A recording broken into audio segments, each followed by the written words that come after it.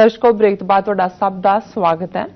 ਅਸੀਂ ਅਗਲੇ ਇਸ਼ੂ ਤੋਂ ਪਹਿਲਾਂ ਤੁਹਾਨੂੰ ਦੱਸ ਦਈਏ ਕਿ ਜੋ ਸਾਡੇ ਪ੍ਰੋਗਰਾਮ ਤਿੰਨੋਂ ਨੇ, ਉਹਨਾਂ ਦੇ ਆਪਾਂ ਤੁਹਾਨੂੰ ਸਮਾਂ ਦੱਸਣਾ ਚਾਹੁੰਦੇ ਹਾਂ, ਜਿਸ ਤਰ੍ਹਾਂ ਕਿ ਸਾਡੇ ਪ੍ਰੋਗਰਾਮ ਦਾ ਸਮਾਂ ਹੈ 7:30 ਤੋਂ ਲੈ ਕੇ 9 ਵਜੇ ਤੱਕ every day Monday through Friday ਔਰ ਇਹ ਤਿੰਨੋਂ ਪ੍ਰੋਗਰਾਮ ਮੰਡੇ ਥਰੂ ਫਰਾਈਡੇ ਤੁਸੀਂ ਦੇਖ ਸਕਦੇ ਹੋ ਫੇਸਬੁੱਕ ਤੇ ਵੀ ਦੇਖ ਸਕਦੇ ਹੋ ਔਰ ਜੋ ਬਾਗੀ ਗੈਜ਼ਟ ਨੇ ਉਸ ਤੇ ਵੀ ਤੁਹਾਨੂੰ ਆਪਾਂ ਦੱਸਿਆ ਸੀ ਪਹਿਲੇ ਸੈਗਮੈਂਟ ਵਿੱਚ ਔਰ ਜੋ ਸਾਡੀ ਪੰਜਾਬੀ ਖਬਰਾਂ ਹੁੰਦੀਆਂ ਨੇ, ਉਹਨਾਂ ਨੂੰ ਤੁਸੀਂ ਦੇਖ ਸਕਦੇ ਹੋ 9 ਵਜੇ ਤੋਂ ਲੈ ਕੇ 9:30 ਵਜੇ ਤੱਕ ਔਰ ਜੋ ਸਪੈਸ਼ਲ ਇੰਟਰੋਸ ਹੁੰਦੀਆਂ ਨੇ ਉਸ ਦਾ ਸਮਾਂ ਹੈ 9:30 ਵਜੇ ਤੋਂ ਲੈ ਕੇ 10 ਵਜੇ ਤੱਕ। ਤੁਸੀਂ ਤਿੰਨੋਂ ਪ੍ਰੋਗਰਾਮ ਫੇਸਬੁੱਕ ਤੇ ਵੀ ਲਾਈਵ ਦੇਖ ਸਕਦੇ ਹੋ ਔਰ YouTube ਤੇ ਜਾ ਕੇ TV84 ਦੇ ਚੈਨਲ ਤੇ ਵੀ ਦੇਖ ਸਕਦੇ ਹੋ।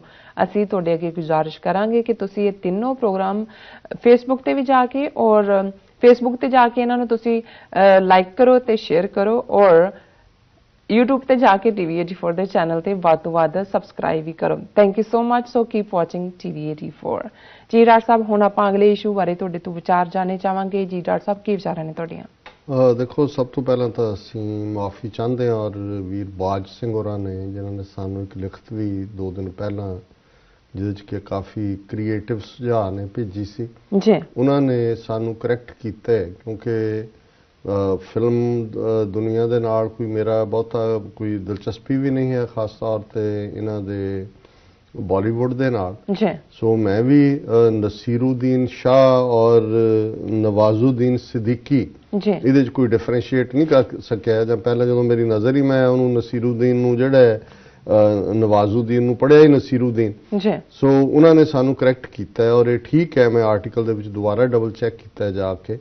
ਕਿ ਨਸੀਰੂਦੀਨ ਸ਼ਾਹ ਨੇ ਬਾਲ ਠਾਕਰੇ ਦਾ ਰੋਲ ਨਹੀਂ ਕੀਤਾ ਕਿਉਂਕਿ ਮੈਨੂੰ। ਦੁੱਖ ਇਹ ਹੋਇਆ ਵੀ ਉਹ ਆਲਰੇਡੀ ਖੁਦ ਵੀ ਵਿਕਟਮ ਬਣਿਆ ਔਰ ਨਸੀਰੂਦੀਨ ਸ਼ਾਹ ਬਹੁਤ ਵੱਡਾ ਐਕਟਰ ਹੈ। ਮੈਨੂੰ ਇਹ ਹੈਰਾਨੀ ਵੀ ਹੋਈ ਜਦੋਂ ਕਿਉਂਕਿ ਮੈਂ ਪੜ੍ਹੇ ਮੇਰੇ ਦਿਮਾਗ 'ਚ ਨਸੀਰੂਦੀਨ ਸੀ ਸੋ ਮੈਂ ਇਹਨੂੰ ਨਵਾਜ਼ੁਦੀਨ ਨੂੰ ਵੀ ਸਿੱਦੀਕੀ ਮੈਂ ਨਾਲ ਨਹੀਂ ਪੜਿਆ ਸੋ ਮੈਨੂੰ ਲੱਗਾ ਵੀ ਇਸ ਲੈਵਲ ਦਾ ਬੰਦਾ ਜਿਹਨੇ ਬੜਾ ਜ਼ਬਰਦਸਤ ਜਿਹੜਾ ਉਹ ਐਕਟਰ ਹੈ ਔਰ। ਖਾਸ ਤੌਰ ਤੇ ਗਾਲਬ ਦਾ ਰੋਲ ਜਿਵੇਂ ਉਹਨੇ ਉਹ ਸੀਰੀਜ਼ ਦੇ ਵਿੱਚ ਪਲੇ ਕੀਤਾ ਹੈ ਗਾਲਬ ਦੇ ਨਾਲ ਸੰਬੰਧਿਤ। ਸੋ ਅਸੀਂ ਇਸ ਕਰੈਕਸ਼ਨ ਦੇ ਲਈ ਬਾਜ ਸਿੰਘ ਹੋਰਾਂ ਦਾ ਸ਼ੁਕਰੀਆ ਵੀ ਅਦਾ ਕਰਦੇ ਹਾਂ। ਕਿਉਂਕਿ ਇਹ ਕੋਈ ਨਵਾਜ਼ੁਦੀਨ ਸਿੱਦੀਕੀ ਨੇ ਯੂਪੀ ਨਾਲ ਹੀ ਜਿਨ੍ਹਾਂ ਦਾ ਸਬੰਧ ਹੈ ਜਿਨ੍ਹਾਂ ਨੇ ਕਿ ਬਾਲ ਠਾਕਰੇ ਦਾ ਰੋਲ ਅਦਾ। ਕੀਤਾ। ਸੁਭਾਸ਼ ਸਿੰਘ ਜੀ ਤੁਹਾਡਾ ਸ਼ੁਕਰੀਆ। ਔਰ ਜਿਹੜਾ ਇਸ਼ੂ ਜ਼ਾਹਰ ਹੈ ਕਿ ਜਦੋਂ ਅਸੀਂ ਲੈਗੇਸੀ ਵਿਰਸਾ ਹਿਸਟਰੀ ਇਸ ਹਵਾਲੇ ਨਾਲ ਗੱਲ ਕਰਦੇ ਹਾਂ। ਤੇ ਅਜੋਕੇ ਸਮੇਂ ਦੇ ਵਿੱਚ ਅਸੀਂ ਹਮੇਸ਼ਾ ਇਸ ਗੱਲ ਦੇ ਉੱਤੇ ਜਿੱਥੇ ਜੂਨ 84 ਦਾ ਘੱਲੂਘਾਰਾ ਇੱਕ ਬਹੁਤ ਵੱਡਾ ਦੁਖਾਂਤ ਹੈ ਸਾਡੇ ਇਤਿਹਾਸ ਦਾ ਘੱਲੂਘਾਰੇ ਦਾ ਮਤਲਬ ਹੀ ਇਹ ਹੈ। ਉੱਥੇ ਇੱਕ ਬਹੁਤ ਵੱਡਾ ਲਾਸ ਨੁਕਸਾਨ ਜਿਹੜਾ ਉਹ ਹੈ ਸਾਡਾ ਇਤਿਹਾਸਕ ਖਜ਼ਾਨਾ। ਜਿਹੜਾ 18ਵੀਂ ਸਦੀ ਚ ਬਚ ਗਿਆ ਹੈ 1947 ਦੇ ਦੌਰ ਚੋਂ ਨਿਕਲ ਕੇ ਜਿਹੜਾ ਵੀ ਇਹ ਸਾਰੇ ਪੀਰੀਅਡ ਦੇ ਵਿੱਚ ਸਾਡੇ ਕੋਲ ਸੀ ਸ਼੍ਰੋਮਣੀ ਗੁਰਦੁਆਰਾ ਪ੍ਰਬੰਧਕ ਕਮੇਟੀ ਨੇ 1930ਵਿਆਂ ਦੇ ਵਿੱਚ ਸਿੱਖ ਰੈਫਰੈਂਸ ਲਾਇਬ੍ਰੇਰੀ ਬਣਾਈ। Principal Ganda Singh main inspiration ਸੀ। ਉਹਨਾਂ ਦਾ। ਵੀ ਬਹੁਤ ਸਾਰਾ ਜਿਹੜਾ ਉਹ ਹੈ। ਔਰ ਬਾਅਦ ਦੇ ਵਿੱਚ 1947 ਤੋਂ ਬਾਅਦ ਉਹ ਹੋਰ ਡਿਵੈਲਪ ਹੁੰਦੀ ਗਈ ਔਰ ਬਹੁਤ ਸਾਰੇ ਜਿਹੜੇ ਰੇਅਰ ਜਿਨ੍ਹਾਂ ਨੂੰ ਅਸੀਂ ਕਹਿੰਦੇ ਆ ਇਤਿਹਾਸਕ ਗ੍ਰੰਥ ਜੀ ਖਰੜੇ ਗੁਰੂ ਗ੍ਰੰਥ ਸਾਹਿਬ ਜੀ ਦੀਆਂ ਹੱਥ ਲਿਖਤ ਬੀੜਾਂ ਇਤਿਹਾਸਕ ਹੁਕਮਨਾਮੇ ਮਾਤਾ ਸੁੰਦਰੀ ਜੀ ਦੇ ਗੁਰੂ ਤੇਗ ਬਹਾਦਰ ਸਾਹਿਬ ਦੇ ਸਿੱਖ ਰੈਫਰੈਂਸ ਲਾਇਬ੍ਰੇਰੀ ਦੇ ਵਿੱਚ ਸਨ ਔਰ ਜੂਨ 84 ਦੀ ਉਸ ਲੁੱਟ ਜਿਹੜੀ ਉਹਨਾਂ ਨੇ ਪਾਈ ਜਿੱਥੇ ਉਹਨਾਂ ਨੇ ਉੱਥੋਂ ਅੰਦਰੋਂ ਧਨ ਔਰ ਦੂਸਰੀਆਂ ਚੀਜ਼ਾਂ ਲੁੱਟੀਆਂ ਤਬਾਹ ਬਰਬਾਦ ਕੀਤਾ। ਉੱਥੇ ਉਹ ਸਾਰਾ ਹੀ ਸਿੱਖ ਰੈਫਰੈਂਸ ਲਾਇਬ੍ਰੇਰੀ ਦਾ ਜਿਹੜਾ ਸਾਡਾ ਇਤਿਹਾਸਕ ਖਜ਼ਾਨਾ ਸੀ ਉਹਨੂੰ 100 ਤੋਂ ਜ਼ਿਆਦਾ ਫੌਜ ਦੇ ਟਰੱਕਾਂ ਦੇ ਵਿੱਚ ਲੱਦ ਕੇ ਉਹਦੇ ਟਰੰਕ ਸੀ ਟਰੰਕਾਂ ਚੋਂ ਮਟੀਰੀਅਲ ਹੋਇਆ ਔਰ ਉਹ ਉਦੋਂ ਲੈ ਗਏ ਸੀ ਔਰ ਬਾਅਦ ਚ ਉਹਨਾਂ ਨੇ ਕਹਾਣੀ ਇਹ ਘੜੀ ਕਿ ਜੀ ਇੱਥੇ ਅੱਗ ਲੱਗ ਗਈ ਸੀ ਔਰ ਡਿਸਟਰੋਏ ਹੋ ਗਿਆ। ਪਰ ਬਹੁਤ ਜਲਦੀ ਇਹ ਗੱਲ ਸਾਹਮਣੇ ਆ ਗਈ ਕਿ ਵੀ ਉੱਥੋਂ ਲੁੱਟ ਕੇ ਲੈ ਗਏ ਨੇ। ਕਿੱਥੇ ਗਿਆ ਸਟਾਫ ਉਹ ਕੀ ਹੈ? ਔਰ ਇਹ ਗੱਲ ਰਿਪੀਟਡਲੀ ਪਿਛਲੇ 34 ਸਾਲ ਤੋਂ ਸ਼੍ਰੋਮਣੀ ਕਮੇਟੀ ਵੀ ਮੰਗ ਕਰਦੀ ਰਹੀ ਹੈ। ਦੁਨੀਆ ਭਰ ਸਿੱਖ ਵੀ ਕਰਦੇ ਨੇ ਨੇ ਪਾਰਲੀਮੈਂਟ ਦੇ ਵਿੱਚ ਵੀ ਸਵਾਲ ਉੱਠਿਆ ਹੈ। ਜੀ ਔਰ ਜਦੋਂ ਜਾਰਜ ਫਰਨੈਂਡਿਸ ਡਿਫੈਂਸ ਮਿਨਿਸਟਰ ਸੀ ਹੁਣ ਤਾਂ ਮਰ ਗਿਆ ਪਿਛਲੇ ਹਫ਼ਤੇ ਉਹਦੀ ਮੌਤ ਹੋਈ ਹੈ। ਉਹਨੇ ਪਾਰਲੀਮੈਂਟ ਦੇ ਵਿੱਚ ਇਹ ਮੰਨਿਆ ਸੀ ਕਿ ਵੀ ਇਹ ਜਿਹੜਾ ਇਤਿਹਾਸਕ ਖਜ਼ਾਨਾ ਇਹ ਫੌਜ ਦੇ ਕਬਜ਼ੇ 'ਚ ਹੈ ਕੰਟਰੋਲ 'ਚ ਹੈ। ਜੀ। ਔਰ ਉਹਨੇ ਕਿਹਾ ਜੀ ਅਸੀਂ ਪੈਰਵਾਈ ਕਰਵਾਵਾਂਗੇ ਕਿ ਕਿੱਥੇ ਪਿਆ ਹੈ ਕੀ ਹੈ। ਲੇਕਿਨ ਉਸ ਤੋਂ ਬਾਅਦ ਅਸੀਂ ਦੇਖਦੇ ਹਾਂ ਕਿ ਰਿਪੀਟਡਲੀ ਮੰਗ ਵੀ ਹੁੰਦੀ ਰਹੀ ਔਰ ਇਹ ਹਮੇਸ਼ਾ ਡਿਨਾਇਲ ਚ ਰਹੇ ਕਿ ਜੀ ਨਹੀਂ ਨਹੀਂ ਨਹੀਂ ਹੈ ਨਹੀਂ ਦੇ ਦਿੱਤਾ ਸੀ। ਕੋਈ ਕਹਿਣ ਜੀ ਇੰਨਾ ਸ਼੍ਰੋਮਣੀ ਕਮੇਟੀ ਨੂੰ ਦੇ ਦਿੱਤਾ ਸੀ। ਜੀ। ਹੁਣ ਜਨਰਲ ਜੇ ਜੇ ਸਿੰਘ ਭਾਰਤੀ ਫੌਜ ਦਾ ਚੀਫ ਰਿਹਾ ਹੈ ਤਾਂ ਗੈਰ ਜ਼ਿੰਮੇਵਾਰ ਜਿਹਾ ਬੰਦਾ। ਔਰ ਜਦੋਂ ਇਹ ਚੀਫ ਵੀ ਸੀ ਬਿਆਨਬਾਜ਼ੀਆਂ ਤਾਂ ਕਾਫੀ ਕਰਦਾ ਰਿਹਾ ਜੀ। ਹਿੰਦੂ ਤਵੀਆਂ ਨੂੰ ਖੁਸ਼ ਕਰਨ ਲਈ ਪਾਕਿਸਤਾਨ ਦੇ ਖਿਲਾਫ ਵੀ ਬਾਅਦ 'ਚ ਅਰੁਣਾਚਲ ਦੇ ਵਿੱਚ ਵੀ 5 ਸਾਲ ਗਵਰਨਰ ਰਿਹਾ ਰਿਟਾਇਰਮੈਂਟ ਤੋਂ ਬਾਅਦ ਪਿਛਲੀਆਂ ਅਸੈਂਬਲੀ ਚੋਣਾਂ ਵੇਲੇ ਪਟਿਆਲੇ ਤੋਂ ਅਕਾਲੀਆਂ ਨੇ ਟਿਕਟ ਦੇ ਦਿੱਤੀ ਬਾਦਲਾਂ ਨੇ। ਜੀ। ਅਮਰਿੰਦਰ ਸਿੰਘ ਦੇ ਬਰਾਬਰ ਬੁਰੀ ਤਰ੍ਹਾਂ ਹਾਰਿਆ 10 12000 ਵੋਟਾਂ ਹੀ ਮਿਲੀਆਂ। ਔਰ ਹੁਣ ਇਹਨੇ ਜਿਹੜਾ ਇੱਕ ਨਵਾਂ ਟਕਸਾਲੀ ਅਕਾਲੀ ਦਲ ਬ੍ਰਹਮਪੁਰਾ ਸੇਖਵਾਂ ਔਰ ਰਤਨ ਸਿੰਘ ਅਜਨਾਲਾ ਉਸ ਨੂੰ ਉਹਨੇ ਜੁਆਇਨ ਕੀਤਾ। ਔਰ ਜ਼ਾਹਰ ਹੈ ਕਿ ਕਿਤੇ ਨਾ ਕਿਤੇ ਉਹ ਪਾਰਲੀਮੈਂਟ ਦੀ ਚੋਣ ਲੜੇਗਾ ਜ਼ਮਾਨਤਾਂ ਹੀ ਜ਼ਬਤ ਹੋਣਗੀਆਂ ਪਰ ਇਹ। ਇੱਕ ਵੱਖਰਾ ਵਿਸ਼ਾ ਹੈ ਹੁਣ ਜਦੋਂ ਉਹਨੇ ਇਹ ਟਕਸਾਲੀ ਅਕਾਲੀ ਦਲ ਜੁਆਇਨ ਕੀਤਾ ਹੈ, ਅੰਮ੍ਰਿਤਸਰ ਚ ਆ ਕੇ ਉਹਨੇ ਪ੍ਰੋਪਰਲੀ ਪ੍ਰੈਸ ਕਾਨਫਰੰਸ ਵੀ ਕੀਤੀ ਔਰ ਉੱਥੇ ਜਦੋਂ ਪੱਤਰਕਾਰਾਂ ਨੇ ਉਸ ਨੂੰ ਪੁੱਛਿਆ ਕਿ ਵੀ ਤੁਸੀਂ ਫੌਜ ਦੇ ਮੁਖੀ ਵੀ ਰਹੇ ਹੋ ਔਰ ਜੂਨ 84 ਦੇ ਵਿੱਚ ਜਿਹੜਾ ਸਾਡਾ ਇਤਿਹਾਸਕ ਖਜ਼ਾਨਾ ਫੌਜ ਲੈ ਗਈ ਜੀ ਉਹ ਕਿੱਥੇ? ਉਹ ਕਿੱਥੇ ਔਰ ਜਿਹੜਾ ਉਹਨੇ ਬਿਆਨ ਦਿੱਤਾ ਹੈ ਉਸ ਤੋਂ ਇਹ ਅੰਦਾਜ਼ਾ ਲਾ ਲੈਣਾ ਚਾਹੀਦਾ ਹੈ ਕਿ ਵੀ ਕਿਵੇਂ ਇਹ ਡਿਫਰੈਂਟ ਸਟੇਟਮੈਂਟਸ ਕਿਸ ਲੈਵਲ ਤੋਂ ਆ ਰਹੀਆਂ ਜੀ। ਔਰ ਬਿਹਾਈਂਡ ਕਿਵੇਂ ਜਿਹੜੀ ਸਿੱਖਾਂ ਦੇ ਖਿਲਾਫ ਇਹ ਟੋਟਲ ਵਾਰ ਡਿਕਲੇਅਰ ਕੀਤੀ ਹੋਈ ਹੈ। ਕੱਲਾ ਸਿੱਖ ਕੌਮ ਦੀ ਨਸਲਕੁਸ਼ੀ ਤੱਕ ਹੀ ਨਹੀਂ ਸਾਡਾ ਇਤਿਹਾਸਕ ਖਜ਼ਾਨਾ ਵੀ ਲੁੱਟ ਲਿਆ ਗਿਆ ਹੈ। ਹੁਣ ਇਹ ਟਾਈਮਜ਼ ਆਫ ਇੰਡੀਆ ਦੀ ਖਬਰ ਹੈ। Army handed over Sikh library material to government general J J Singh. ਹੁਣ ਇਹ ਫੌਜ ਦਾ ਮੁਖੀ ਰਿਹਾ ਬੰਦਾ ਇਹ ਕਹਿੰਦਾ ਕਿ ਅਸੀਂ ਉਹ ਜੋ ਸਟਾਫ ਉੱਥੋਂ ਲਿਆ ਸੀ ਲਾਇਬ੍ਰੇਰੀ ਦਾ ਉਹ ਅਸੀਂ ਹਕੂਮਤ ਨੂੰ ਵਾਪਸ ਕਰ ਦਿੱਤਾ ਸੀ ਜੀ ਔਰ over 34 years after operation blue star former army chief general jj singh retired claimed on wednesday that the sikh reference library material including rare manuscripts had been handed over to the then government and government agencies by the army and he had seen the lists bearing signatures of persons who had handed over the material and those who had received it ਜੀ ਉਹ ਕਹਿੰਦਾ ਜੀ ਮੈਂ ਆਪਣੀਆਂ ਅੱਖਾਂ ਨਾਲ ਦੇਖਿਆ ਉਹਨਾਂ ਦੇ ਦਸਖਤ ਵੀ ਉਹਨਾਂ ਅਫਸਰਾਂ ਦੇ ਜਿਨ੍ਹਾਂ ਨੇ ਜਦੋਂ ਹੈਂਡਓਵਰ ਕੀਤਾ ਔਰ ਉਹਨਾਂ ਗਵਰਨਮੈਂਟ ਅਫੀਸ਼ੀਅਲਸ ਦੇ ਦਸਖਤ ਵੀ ਜਿਨ੍ਹਾਂ ਨੇ ਉਹਨੂੰ ਰਿਸੀਵ ਕੀਤਾ ਜੀ ਹੁਣ ਇਹ ਇੱਕ ਸਾਬਕਾ ਫੌਜੀ ਜਨਰਲ ਕਹਿ ਰਿਹਾ ਹੈ ਕਿ ਵੀ ਅਸੀਂ ਤਾਂ ਗਵਰਨਮੈਂਟ ਨੂੰ ਦੇ- ਫਿਰ ਉਹ। ਮਟੀਰੀਅਲ ਗਿਆ ਕਿੱਥੇ? ਉਹਨਾਂ ਨੇ ਕਿਹਾ ਕਿ ਵੀ ਇਹ ਜਿਹੜਾ ਹੈਗਾ ਇਹ ਬਿਲਕੁਲ ਮੈਂ ਖੁਦ ਇਹ ਸਾਰੇ ਨੂੰ ਦੇਖਿਆ ਔਰ ਜਿਹੜਾ ਐਸਜੀਪੀਸੀ ਤਾਂ ਡਿਮਾਂਡ ਕਰਦੀ ਰਹੀ ਹੈ ਕਿ ਭਾਈ ਇਹ ਰੇਅਰ ਬੁక్స్ ਜਿਹਦੇ 'ਚ ਹੁਕਮਨਾਮੇ ਵੀ ਨੇ ਔਰ ਇਹ ਉਹਨਾਂ ਨੇ ਕਿਹਾ ਕਿ we we got the things verified I myself saw the list ਵੀ ਅਸੀਂ ਇਹਨੂੰ ਵੈਰੀਫਾਈ ਕੀਤਾ ਹੈ ਮੈਂ ਖੁਦ ਲਿਸਟ ਨੂੰ ਦੇਖਿਆ ਹੈ ਜੀ every item was mentioned in the list. There were signatures of persons of handing over, taking over the material, he said. He said when he was the army chief, he had verified that the army had handed over the material to the government. ਜੀ ਹੁਣ ਫੌਜੀ chief ਦੇ ਇਸ ਬਿਆਨ ਤੋਂ ਬਾਅਦ ਦੇਖਣਾ ਇਹ ਹੈ ਕਿ ਜੇ ਹਕੂਮਤ ਦੇ ਕੋਲ ਔਰ ਇਹ ਫੌਜੀ ਚੀਫ ਕਹਿ ਰਿਹਾ ਕੋਈ ਹਵਾਲਦਾਰ ਨਹੀਂ ਫੌਜ ਦਾ ਕਹਿ ਰਿਹਾ ਕਿ ਗਵਰਨਮੈਂਟ ਦੇ ਹਵਾਲੇ ਕੀਤਾ ਤੇ ਉਹ ਮਟੀਰੀਅਲ ਕਿੱਥੇ ਗਿਆ ਕਿੱਥੇ ਗਿਆ ਔਰ ਕਿਵੇਂ ਉਹਨੂੰ ਡਿਸਟਰੋਏ ਕੀਤਾ ਗਿਆ ਜਾਂ ਉਸ ਦੇ ਵਿੱਚ ਅੱਗੋਂ ਰਲਾ ਕਰਕੇ ਅੱਗੇ ਹੀ ਇੰਨੇ ਇਸ਼ੂ ਖੜੇ ਕੀਤੇ ਗਏ ਨੇ।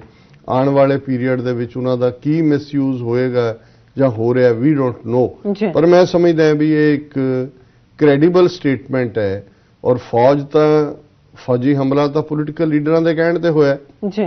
ਜ਼ਾਹਰ ਹੈ ਆਰਡਰ ਇੰਦਰਾ ਗਾਂਧੀ ਔਰ ਬਿਊਰੋਕ੍ਰੇਸੀ ਨੇ ਦਿੱਤੇ ਤੇ ਫੌਜ ਨੂੰ ਹੀ ਉਹਨਾਂ ਨੇ ਕਿਹਾ ਹੋਣਾ ਕਿ ਜੀ ਇਹ ਲਾਇਬ੍ਰੇਰੀ ਦਾ ਜੋ ਸਟਾਫ ਹੈ ਇਹ ਕਾਬੂ ਕਰੋ। ਉਹਨਾਂ ਨੇ ਕਾਬੂ ਕਰ ਲਿਆ ਔਰ ਜਿਵੇਂ ਫੌਜੀ ਹੁੰਦੇ ਨੇ ਉਹਨਾਂ ਨੇ ਆਪਣਾ ਕੰਮ ਜਦੋਂ ਮੁੱਕਿਆ ਉਹਨਾਂ ਨੇ ਉਹਨਾਂ ਦੇ ਹਵਾਲੇ ਕਰ ਦਿੱਤਾ। ਹੁਣ ਇਹ ਅਕਾਲੀ ਲੀਡਰਸ਼ਿਪ ਜਿਹੜੀ ਭਾਈਵਾਲ ਹੈ ਮੋਦੀਆਂ ਦੇ ਨਾਲ ਜੀ। ਪੰਜਾਬ ਦੇ ਵਿੱਚ ਕਿੰਨੀ ਦੇਰ ਹਕੂਮਤ ਕੀਤੀ ਕਿ ਇਹਨਾਂ ਨੂੰ ਇਹ ਗੱਲ ਦਾ ਨਹੀਂ ਪਤਾ ਜੇ ਜਨਰਲ ਜੇ ਜੇ ਸਿੰਘ ਉਹ ਪਬਲਿਕਲੀ ਇਹ ਕਹਿ ਰਿਹਾ ਕਿ ਜੀ ਅਸੀਂ ਹੈਂਡਓਵਰ ਕੀਤਾ ਹੈ। ਮੈਂ ਖੁਦ ਲਿਸਟਾਂ ਦੇਖੀਆਂ ਨੇ ਦੇਣ ਵਾਲਿਆਂ ਦੀਆਂ ਵੀ ਸਿਵਲ ਐਡਮਿਨਿਸਟ੍ਰੇਸ਼ਨ ਰਿਸੀਵ ਕਰਨ ਵਾਲਿਆਂ ਦੀਆਂ ਵੀ। ਫਿਰ ਇਹ ਅਕਾਲੀ ਲੀਡਰਸ਼ਿਪ ਸਿੱਖ ਲੀਡਰਸ਼ਿਪ ਦਾ ਇਹ ਫਰਜ਼ ਨਹੀਂ ਬਣਦਾ ਵੀ ਉਹ ਫਰਦਰ ਇਨਵੈਸਟੀਗੇਟ ਕਰਨ ਵੀ ਉਹ ਕਿੱਥੇ ਪਿਆ ਪਰ ਇਹਨਾਂ ਦਾ ਇਹਦੇ ਵਿੱਚ ਕੀ ਇੰਟਰਸਟ ਹੈ ਜਦੋਂ ਕਿ ਅਸੀਂ ਇਹ ਦੇਖ ਰਹੇ ਹਾਂ ਕਿ ਈਵਨ ਜਿਹੜੀਆਂ ਇੰਸਟੀਟਿਊਸ਼ਨਸ ਲਿਟਰੇਚਰ ਦੇ ਹਵਾਲੇ ਨਾਲ ਪੰਜਾਬ ਦੇ ਵਿੱਚ ਸਿੱਖਾਂ ਨੇ ਸਟਰਗਲ ਕਰਕੇ ਬਣਾਈਆਂ ਪਿਛਲੇ ਦਿਨਾਂ ਦੀ ਖਬਰ ਸੀ Punjab Punjabi text book board to be history soon government draws up proposal to merge it with state languages department ਹੁਣ ਇਹ ਪੰਜਾਬੀ ਟੈਕਸਟ ਬੁੱਕ ਬੋਰਡ ਇਹ ਖਬਰ ਹੈ ਕਿ ਵੀ ਇਹ ਗਾਂਧੀ ਨੇ ਦਾ ਡ੍ਰੀਮ ਸੀ ਕਿ ਲੋਕਲ ਲੈਂਗੁਏਜਸ ਦੇ ਵਿੱਚ ਬੱਚਿਆਂ ਨੂੰ ਜਿਹੜਾ ਨੌਲੇਜ ਦਿੱਤਾ ਜਾਏ ਔਰ setting of setting up of Punjab State University Textbook Board in 1970 was a step in this direction 1970 ਦੇ ਵਿੱਚ ਪੰਜਾਬੀ ਟੈਕਸਟ ਬੁੱਕ ਬੋਰਡ ਬਣਿਆ but the state depart state government has moved a proposal to shut down the pioneering institution which was instrumental in publishing more than 350 textbook titles in Punjabi language. ਕਿ ਜਿਸ board ਨੇ 350 ਤੋਂ ਜ਼ਿਆਦਾ ਪੰਜਾਬੀ ਦੀਆਂ ਪੁਸਤਕਾਂ publish ਕੀਤੀਆਂ ਔਰ ਅੱਜ ਜਿਹੜੀ ਪੰਜਾਬ ਦੀ ਅਮਰਿੰਦਰ ਸਿੰਘ ਸਰਕਾਰ ਜਿਹੜਾ ਹਿੰਦੂ ਤਵੀਆਂ ਦਾ ਸ਼ੋਅ ਬॉय ਹੈ ਉਹ ਇਹਨੂੰ ਬੰਦ ਕਰ ਰਿਹਾ ਹੈ ਇਸ 50 ਸਾਲ ਬਾਅਦ ਇਸ ਟੈਕਸਟ ਬੁੱਕ ਬੋਰਡ ਨੂੰ ਔਰ ਉਹਨਾਂ ਨੇ ਇਸ ਨੂੰ ਮਰਜ ਕਰਨ ਦੇ ਨਾਲ ਥੱਲੇ ਕਿ ਜੀ ਅਸੀਂ ਭਾਸ਼ਾ ਵਿਭਾਗ ਦੇ ਥੱਲੇ ਮਰਜ ਕਰ ਰਹੇ ਹਾਂ। ਹਾਲਾਂ ਮਰਜਰ ਨਹੀਂ ਹੈ ਇਹਦਾ ਮਤਲਬ ਇਹ ਔਰ ਆਲਰੇਡੀ ਅਮਰਿੰਦਰ ਸਿੰਘ ਨੇ ਤਾਂ ਪੰਜਾਬੀ ਦਾ ਬੇੜਾ ਗਰਕ ਕੀਤਾ। ਉਹ ਤਾਂ ਇਹ ਕਹਿੰਦਾ ਲੋੜ ਹੀ ਕੀ ਸੀ ਪੰਜਾਬੀ ਸੂਬੇ ਦੀ? ਅਸੀਂ ਕਿਹੜਾ ਸਾਡੇ ਬੱਚਿਆਂ ਨੇ ਪੰਜਾਬ 'ਚ ਹੀ ਨੌਕਰੀਆਂ ਕਰਨੀਆਂ। ਔਰ ਜਿਵੇਂ ਡਿਲੂਟ ਕੀਤਾ ਜਾ ਰਿਹਾ ਪੰਜਾਬੀ ਜ਼ਬਾਨ ਨੂੰ ਕੋਈ ਸਰਕਾਰੀ ਲੈਵਲ ਦੇ ਉੱਤੇ ਉਸ ਦੇ ਵਿੱਚ ਕੰਮ ਨਹੀਂ ਹੁੰਦਾ।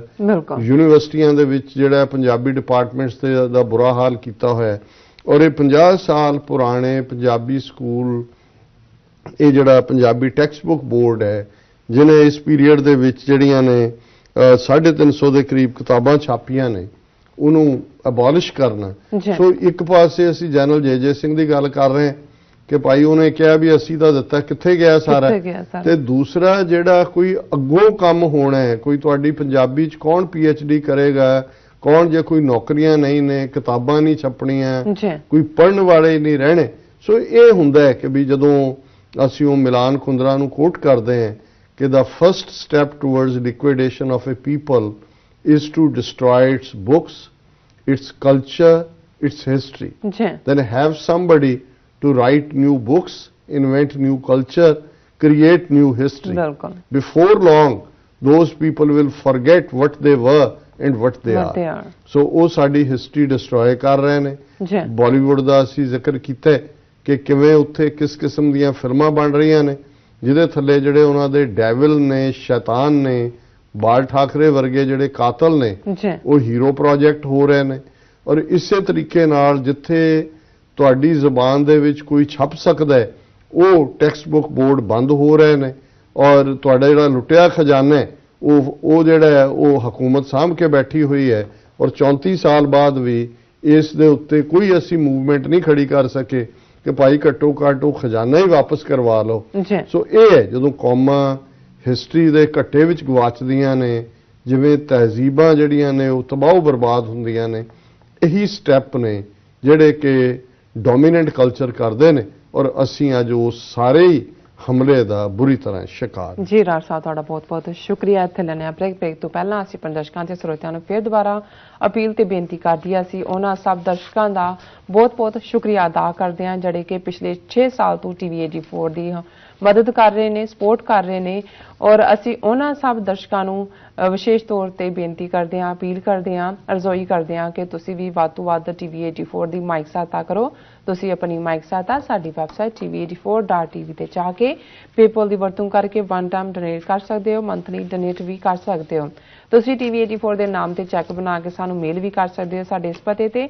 36-01 37th Avenue Long Island City New York 11101 USA ਜਾਂ ਫਿਰ ਤੁਸੀਂ ਸਾਨੂੰ ਫੋਨ ਰਾਹੀਂ ਵੀ ਸੰਪਰਕ ਕਰ ਸਕਦੇ ਹੋ। ਸਾਡੇ ਫੋਨ ਨੰਬਰ ਤੇ 5164060694 ਅਸੀਂ ਆਪਣੇ ਦਰਸ਼ਕਾਂ ਨੂੰ ਇਹ ਵੀ ਦੱਸ ਦਈਏ ਕਿ ਜੋ ਫੇਸਬੁੱਕ TV84 ਦੀ ਜੋ ਫੇਸਬੁੱਕ ਹੈ, ਉਹ ਐਕਟਿਵ ਹੋ ਚੁੱਕੀ ਹੈ। ਤੁਸੀਂ ਆਪਣੇ ਜੋ ਕਮੈਂਟ ਨੇ ਜਾਂ ਤੁਸੀਂ ਸਾਡੇ ਪ੍ਰੋਗਰਾਮ ਦੇਖਣਾ ਚਾਹੁੰਦੇ ਹੋ ਤਾਂ ਤੁਸੀਂ ਫੇਸਬੁੱਕ ਤੇ ਜਾ ਕੇ ਲਾਈਵ TV84 ਦੀ ਜੋ ਫੇਸਬੁੱਕ ਹੈ, ਉਸ ਤੇ ਸਾਡੇ ਪ੍ਰੋਗਰਾਮ ਦੇਖ ਸਕਦੇ ਹੋ। ਆਪਣੇ ਕਮੈਂਟ ਵੀ ਉੱਥੇ ਹੀ ਭੇਜ ਸਕਦੇ ਹੋ।